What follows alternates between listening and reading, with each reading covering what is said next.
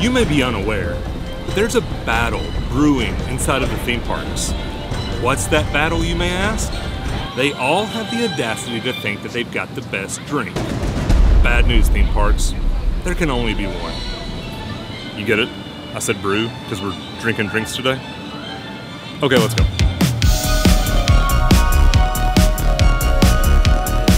Small disclaimer. I don't think any of them have actually made that statement, but we all know they're thinking it.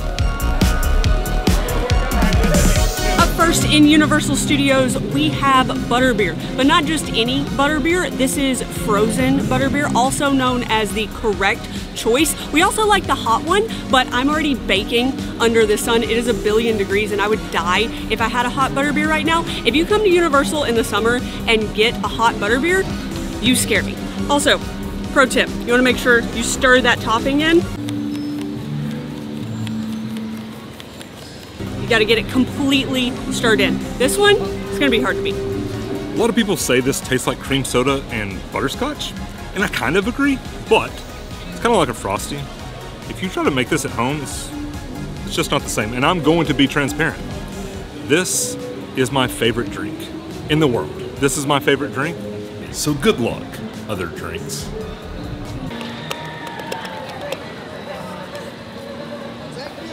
Next.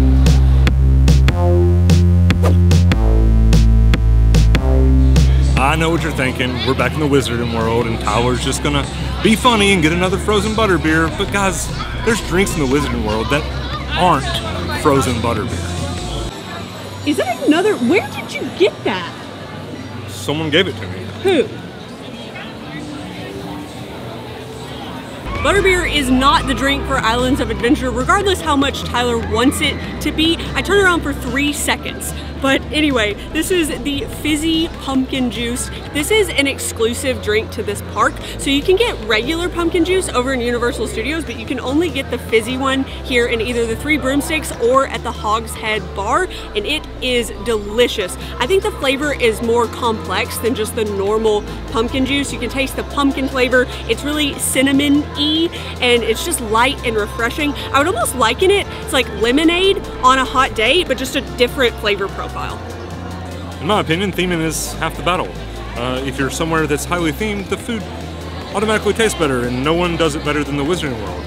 Honestly, though, the fizzy pumpkin juice, it was my favorite for a short stint until I saw the light that is frozen butterbeer.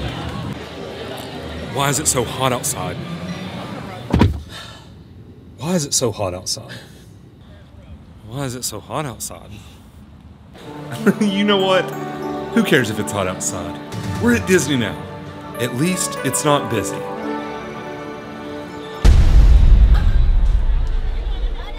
Okay, he lied. It's busy.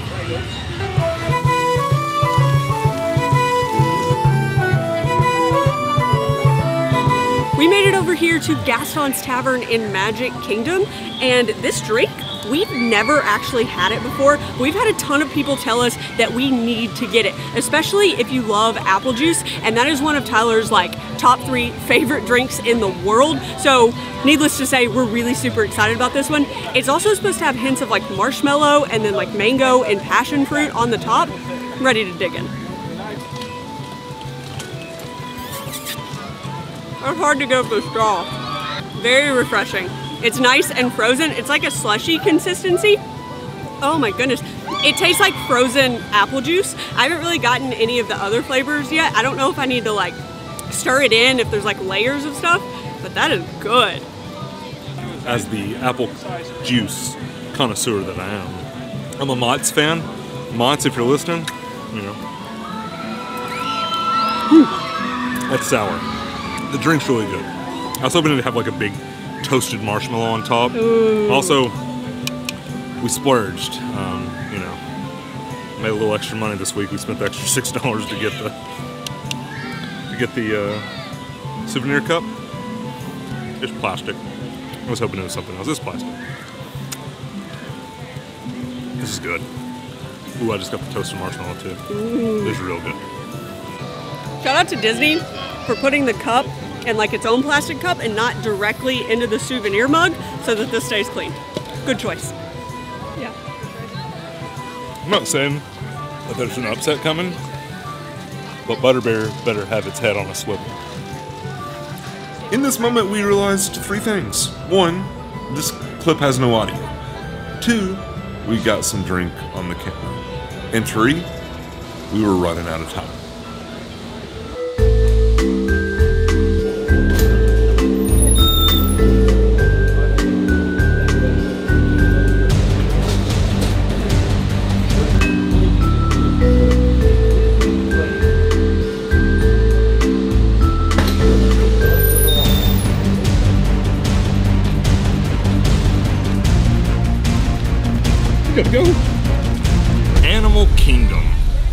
Think about it, aren't we all animals? So wouldn't the entire world just be Animal Kingdom? That's something to think about while we go get a drink.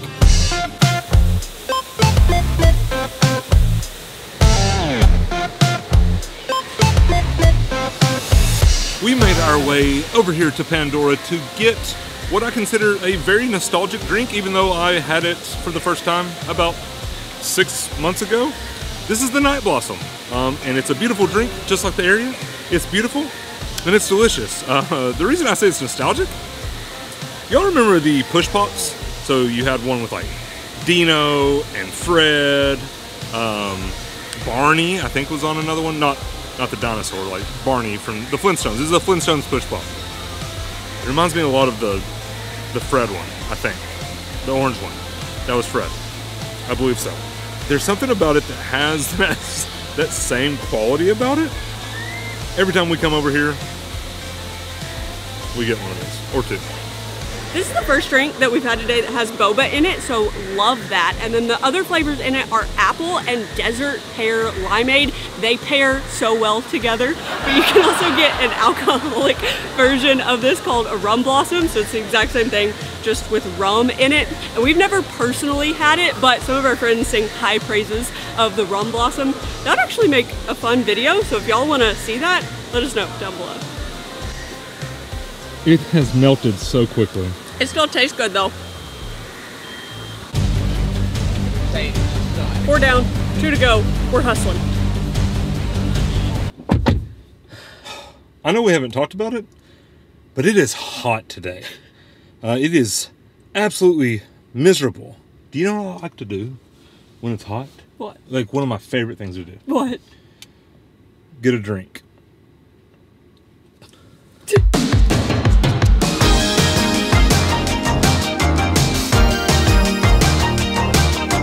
I feel like it's been forever since we've been to Epcot, and we're not even going to get the drink that we initially had planned when we started this this morning. We ran into some people at Magic Kingdom, and we told them what we were doing today, and they said there is a drink over here, like a Cosmic Rewind drink, that is the best thing here in Epcot, so that's where we're headed. This is an awesome drink. No, seriously, it's that's the name. It's called an awesome drink. It showed up about the time that Cosmic Rewind showed up. I guess it's for um, Guardians of the Galaxy. It has apple boba. I just busted. I didn't even make it to my mouth with that. You know what I'm starting to realize? Ain't Disney and Disney people like apple? Because I think this is the third drink that we've had at Disney in a row on the best drinks list, which is it's fact. It's not like actually that's probably it's probably an opinion. We just got opinions from people. But uh, best drinks, the third one with apple. Looks a lot like the Night Blossom. Woo. Way more sour than the Night Blossom. Like I like it. It's so sour. I love it. So I'm still laughing at like your face. You were saying that you liked it, but your oh. facial expression Oh, no, that, that's my I like it it did not say that you liked it. I love how this has boba in it, and they just gave us like a normal straw. Like that's So not I picked it up with my hand. that's not gonna fit here. I'll use the straw. It is really good. I just looked up the flavors that are in this, and it's apple, it's got lemonade and desert pear, so it is more similar to the Night Blossom than we thought it was. But it's good. Definitely has apple in it.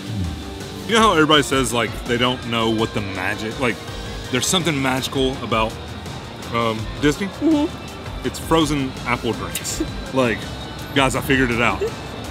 Just, just freeze some apple juice, and you'll have Disney at home.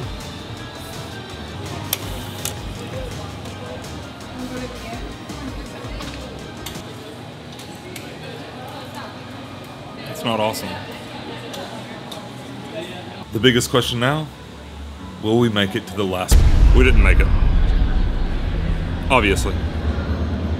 Now you may be thinking, Tyler, I remember distinctly seeing you in front of that ship in your old clothes. Yeah, it's called movie magic, uh, or YouTube magic. I don't, I don't know how how it would be classified, but yeah, I just look. I've got the hat with me. Like, I just, I just changed. I haven't even recorded that part yet, but we're about to record it after we go get our drink. This was our first time going to Oga's Cantina, and we uh, we had a few questions. Like one, why did it say this was a drink online? And two, why did they clap for us when we walked inside?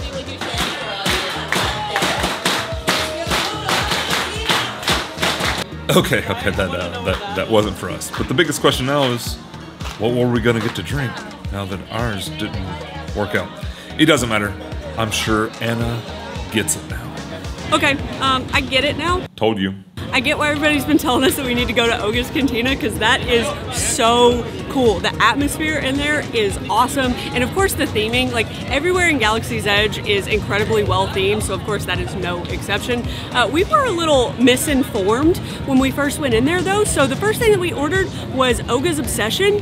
And it's not a drink, um, it's jello with like boba in it and then pop rocks on top, and it's cotton candy flavored, which kind of sounds gross on paper, but it tasted so good. It shocked both of us. And since it wasn't a drink, we did order the Jabba juice, and it was really good too. It mostly tasted like orange juice, and then it has a couple other fruits in there like pineapple and kiwi and cantaloupe, and then it's got some boba on top. And like Tyler said earlier, if theming plays a part in it, then that one definitely gets some extra theming points. And boom, just like that. Movie magic. I'm in the outfit I was in yesterday. Was it washed? That's for you to decide. It was washed because it was absolutely nasty. Yesterday was so hot. I don't think we ever mentioned that, but it was really, really hot. But what you've all been waiting for, the definitive rank. These, this ranking, we have had time to deliberate. Uh, we've had time to process this. We, we even slept on it. Um, not on purpose. We ran out of time yesterday, but the rankings. In first place, we have frozen butterbeer. Yep. In second place is LeFou's Brew. Uh, yeah, if that thing had more of that toasted marshmallow, we may have had an upset on our hands. Number three is the Night Blossom. Number four is the pumpkin juice. In fifth place, we have Jabba juice. And in sixth place is the awesome drink. And there it is, six of the best drinks from six of the however many theme parks are here in Orlando. I'm not really sure. If you disagree, we'd love to hear because honestly, we kind of winged it except for Butterbeer. That one is the best. If you want to see our video from the Minions Cafe, make sure to check out this video right here. And I have one more question. Did you even notice that we came back over here to film the outro at Islands of Adventure? Okay, bye. Bye!